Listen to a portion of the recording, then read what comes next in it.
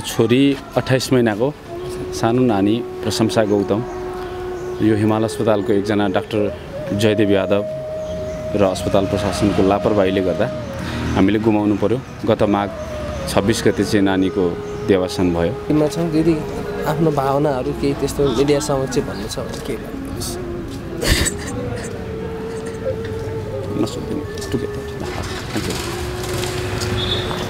डक्टरले हरेक दिन ठिक छ राम्रो छ। हामीलाई। हामीलाई बच्चाकै डक्टरले विशेषज्ञले हेरिराखेको हरेक दिन बच्चालाई राम्रो छ केही भएको छैन टेस्ट गर्नु पर्दैन मैले गरिरहेको छु होइन? यो भएको हामीले बताएका सिम्टम्सहरू त्यो यस कारणले हुने हो। अर्को गरेर हेरौँ न त जाँच गरौँ निमोनिया भयो होला भन्दाखेरि मैले गरिरहेको छु। मैले अर्को तरिकाले तपाईँको छोरीलाई ट्रिटमेन्ट गरिरहेको छु। तपाईँहरू डक्टर कि। तपाईँ डक्टर कि म डक्टर। केही छैन ठिक छ। तपाईँहरू कतिचोटि आउनुभएको। मैले फलोअपलाई तपाईँहरूलाई शुक्रबार बोलाएको तपाईँ लङ्समा चाहिँ सत्तरी प्रतिशत ल- पानी भरिसकेको रहेछ। अनि निमोनियाको कारणले त्यही दिन बेलुका लगभग यो हस्पिटलबाट निकालेको तिन घन्टा पछाडि हाम्रो छोरीको चाहिँ डेथ भयो। अस्पतालमै आर्थिक क्षतिपूर्ति चाहियो म चित्त बुझाएर यहाँबाट फर्किन्छु भनेर आएको छैन। मलाई यो उनीहरूले गरेको अपराध हो अपराध बेच्नु छैन। मैले मागेको न्याय हो न्याय पनि बेच्नु छैन। म न्याय मागेरै छोड्छु उनीहरूले यो हामीले पैसा तिर्ने थियौँ उसको केही जाने थिएन। छोरी हामीसँग हुने रहेछन् अहिले होइन? हाम्रो त्यति कुरा नसुनिदिनाले गर्दा अस्पतालमा चाहिँ त्यस्तो लाने केही हामी यति बेला कमल पोखरीमा रहेको हिमाल अस्पताल नजिकै छौँ र यहाँ चाहिँ दुई तिन दिनदेखि अगाडिबाट चाहिँ शान्तिपूर्ण आन्दोलन भइरहेको छ। खासमा के हो भनेर चाहिँ म उहाँहरूसँग जानकारी लिनेछु। स्वागत छ खासमा भएको के हो गौरव सर? हाम्रो छोरी अठाइस महिनाको सानो नानी प्रशंसा गौतम। यो हिमाल अस्पतालको एकजना डाक्टर जयदेव यादव। र अस्पताल प्रशासनको लापरवाहीले गर्दा हामीले गुमाउनु पर्यो। गत माघ छब्बिस गते चाहिँ नानीको देवासन भयो। खासमा के भएर चाहिँ लगिएको थियो अस्पतालमा चाहिँ? नानीलाई सामान्य सामान्य रुगाखोकी ज्वरो आएको थियो। अनि हामीले हामीले आफूले क्लिनिकबाट ल्याएर खुवाइरहेको दबाईले चाहिँ नानीलाई ठिक नभएपछि माघ तेइस गते अस्पतालमा ल्याएर डक्टरलाई देखाएका थियौँ। तेइस गते चौबिस गते पच्चिस गते छब्बिस गतेसम्म निरन्तर नानीलाई हामीले च्याप च्यापेर आएर लिएर आएर चाहिँ डक्टरलाई हामीले निरन्तर निमोनिया भयो कि घ्यार घ्यार बढेको छ यो भएको छ पेट सुन्निएको छ अनुहार फुलेको छ होइन? सिम्टम्सहरू थपिएको थपिएको छ गोरो ज्वरो निको भएको छैन। टेस्ट गरेर हेरौँ हरेक दिन हामीले चाहिँ टेस्ट गरेर हेरौँ चेक गरेर हेरौँ भन्दाखेरि डक्टरले हाम्रो कुरालाई ध्यान नदिएर लापरवाही गरेकै कारणले अन्तमा छब्बिस गते लास्ट मिनट आएर हाम्रो जबरजस्तीले गर्दा चेक गरियो। चेक गर्दाखेरि चाहिँ नानीको दुईपट्टि नै लङ्समा चाहिँ सत्तरी प्रतिशत ल- ल पानी भरिसकेको रहेछ। अनि निमोनियाको कारणले त्यही दिन बेलुका लगभग यो हस्पिटलबाट निकालेको तिन घन्टा पछाडि हाम्रो छोरीको चाहिँ डेथ भयो। अस्पतालमै डेथ भयो। हाम्रो यहाँबाट रेफर गरेर अर्को अस्पताल पठाइयो त्यहाँ बेड छ भनेर मिसलिडिङ गरियो। डाक्टरले चाहिँ हामीलाई कान्तिमा चाहिँ मैले बेड सेट सबै बन्दोबस्त गरेको छु पिआइसियु पेडियाट्रिक बेड बन्दोबस्त गरेको छु। अनि सम्बन्धित त्यहाँको टिमसँग पनि मेरो कुरा भइसक्यो। इमर्जेन्सी टिमसँग पनि कुरा भयो। तपाईँहरूले चाहिँ तुरुन्तै बच्चालाई उहाँ लानुहोस् भनेर अस्पतालबाट निकाल्नलाई चाहिँ हतार गरियो होइन? निकालेर जब उहाँ पठाइयो उहाँ पठाउँदाखेरि चाहिँ उहाँ चाहिँ पिआइसियु खाली थिएन। उहाँको टेक्निकल त्यहाँको डक्टरहरूले चाहिँ लिन मान्नु भएन। इमर्जेन्सी टिमले पनि लिन मानेन बच्चा बेड खाली नभएको हिसाबले। अनि एकदमै त्यो क्रिटिकल सिचुएसन भइसके पछाडि चाहिँ हामीले फेरि मेट्रो अस्पतालको एम्बुलेन्स बोलाएर त्यहाँ पिआइसियु खाली छ भनेर त्यहाँ लिएर गयौँ। उहाँ लगेको लगभग दुई अढाई घन्टामा नानीको चाहिँ डेथ भयो। हामीलाई एउटा अस्पतालबाट अर्को अस्पतालमा रेफर गर्ने बेलामा पनि हिमाल हस्पिटलले हामीलाई त्यो रेफरल लेटर दिएर अर्को हाम्रो चाहिँ चार पाँच दिनको नानीको चाहिँ इन्भेस्टिगेसन गरेको प्रिस्क्राइब गरेको चाहिँ त्यो पेपर डकुमेन्टहरू चाहिँ यिनीहरूले लुकाइदियो। लुकाएपछि मैले जबरजस्ती गरेर काउन्टरबाट खोसेर लिएर गएँ त्यो डकुमेन्टहरू। यिनीहरूले लुकाउन खोजेको थियो लुकाइसकेको थियो होइन? यी विभिन्न कुराहरू छन्। हामीले निरन्तर गरेको अनुरोधलाई डक्टरले नसुनिदिएर होइन अनुमानका भरमा औषधि गरेर होला उनीहरूको एथिकल कुराहरू उनीहरूको लजिकल कुराहरू दिन विभिन्न होला मेडिकल नर्म्स मेडिकल टर्म्स भनेर विभिन्न कुरा भनेर हामीलाई सम्झाउन खोज्ला। हामीले बुझ्ने हाम्रो सामान्य दिमागले बुझ्ने कुरा के हो भने हामी निरन्तर चार दिनसम्म डक्टरलाई ल्याएर हामी नजान्ने थियौँ र पो डक्टर कहाँमा लिएर आएको त होइन।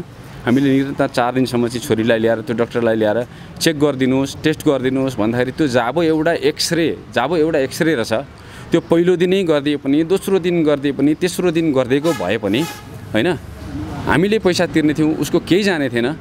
छोरी हामीसँग हुने रहेछन् अहिले होइन हाम्रो त्यति कुरा नसुनिदिनाले गर्दा अस्पतालमा चाहिँ त्यस्तो लाने केही भनौँ न यो जुन हिमाल अस्पतालले वास्ता नगरिसकेपछि चाहिँ अरू कुनै अस्पतालमा लाने त्यस्तो केही तयारी केही हामीलाई त डक्टरले हरेक दिन ठिक छ राम्रो छ।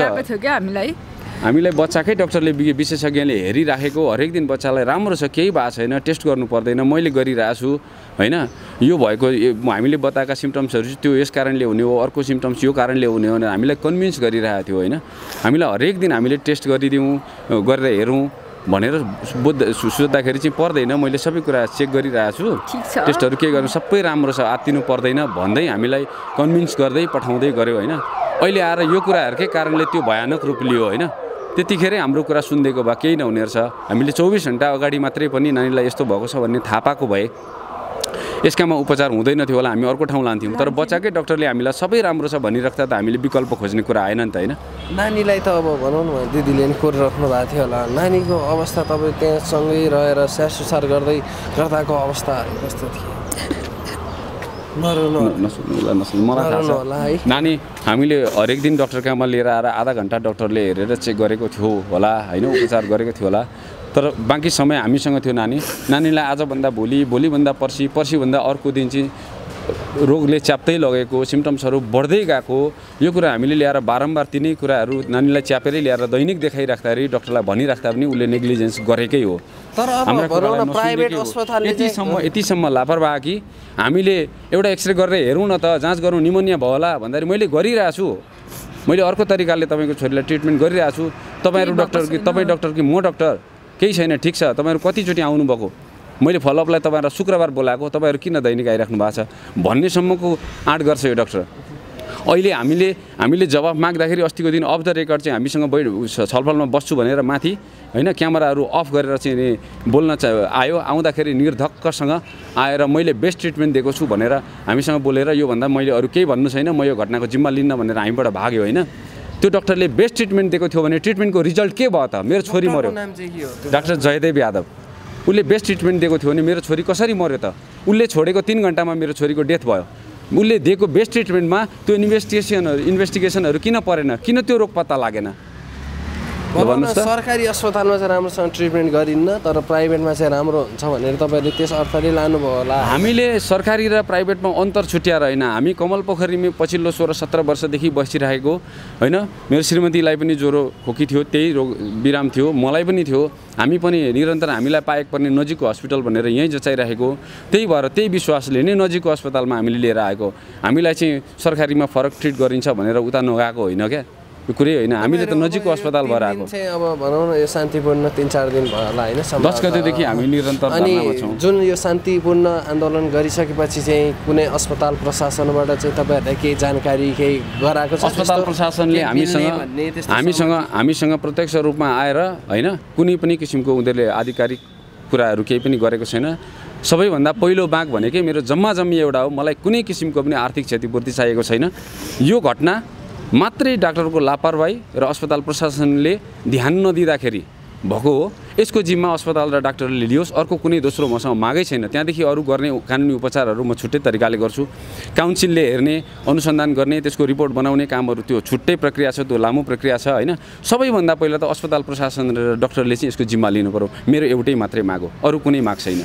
म कसैसँग आर्थिक क्षतिपूर्ति चाहियो म चित्त बुझाएर यहाँबाट फर्किन्छु भनेर आएको छैन। मलाई यो उनीहरूले गरेको अपराध हो अपराध बेच्नु छैन। मैले मागेको न्याय हो न्याय पनि बेच्नु छैन। म न्याय मागेरै छोड्छु उनीहरूले यो जिम्मा लिनै पर्छ। डाक्टर र अब अस्पताल प्रशासनले अब भनौँ न गल्ती स्वीकारेको अवस्था छैन भनिसकेपछि त अब पक्कै पनि अब तपाईँहरू आन्दोलन गरिराख्ने उनीहरू टुलुलु हेरिराख्ने अवस्था आएन उनीहरूको स्ट्राटेजी के छ मलाई केही पनि थाहा छैन। उनीहरू जेसुकै गरोस्। म केही सिप लागेन भोलि यो भिड घट्दै गयो। मैले हिजो पनि भनेको छु यो भिड घट्दै गयो भोलि हामी दुईजना मात्रै उभिनु पऱ्यो भने पनि त्यो ब्यानर बोकेर आएर यो अस्पतालमा बिहानदेखि बेलुकासम्म हामी धर्ना दिन्छौँ। मेरो सास रहन्जेलसम्म छोड्दिनँ। अस्पताल प्रशासनले जवाफदेही हुनैपर्छ यसको। यो जिम्मा लिनैपर्छ मेरो त्यति मात्रै माग हो। अर्को कहाँ को कसले के गर्यो उसको पछिल्लो चाहिँ हिस्ट्री के छ उसको सक्सेस रेट के छ त्यतातिर मलाई जानु छैन। हाम्रो केसमा उसले लापरवाही गरेको हो र यो एउटा केसको उसले जिम्मा लिनैपर्छ मैले माग गर्ने त्यति नै हो। भनेपछि अब भनौँ न तपाईँहरूले अब हामी लगभग अन्तिममा नि छौँ होइन? अब अहिले अहिले हामी दुःखद घडीमा छौँ र अहिले बोल्न सकिरहनु भएको अवस्था छैन। र अब के छ तपाईँहरूले भनौँ न त्यस्तो आर्थिक क्षतिपूर्ति त अब मागिरहेको छैन भनिराख्नु भएको छ। अब अस्पतालले चाहिँ स्वीकारेको खण्डमा चाहिँ अब के गर्नुहुन्छ? अस्पतालले स्वीकारे स्वीकारेको खण्डमा त उनीहरूले आफूले गरेको गल्ती स्वीकारेको खण्ड त हामी त्यस पछाडि अरू कानुनी उपचारहरूमा पहिल्यै निवेदन दिइसकेका छौँ त्यतापट्टि फलोअप गर्छौँ त्यतापट्टिबाट न्यायको खोजी गर्छौँ। उनीहरूले स्वीकार गरिदियो भने त त्यस पछाडि त यो अलग्गै के अलग्गै इस्यु हुन्छ। यिनीहरूले स्वीकार गर्नु पर्यो सबैभन्दा पहिला। हामीले दोष मात्रै लगाएर लगाइरहेका छैनौँ। आधार प्रमाणका साथमा बसेका छौँ होइन? हामी जबसम्म उनीहरूले आएर हामीलाई हाम्रा अगाडि हामीले स्वीकार्यौँ हाम्रो कारणले चाहिँ यो घटना घट्यो। यसमा हामी माफी माग्दछौँ भनेर हामीसँग सार्वजनिक रूपमा जबसम्म आउँदैन तबसम्म चाहिँ नछोड्ने। यो अर्को कुनै शर्त अर्को कुनै गोप्य मिटिङ सेटिङ मसँग केही पनि हुनेवाला छैन। मैले अर्को कुनै कुरा मागेको छैन। त्यस्तो अब हामी अन्तिममा छौँ यदि आफ्नो भावनाहरू केही त्यस्तो मिडिया समक्ष भन्नु छ भने के भन्नुहोस्?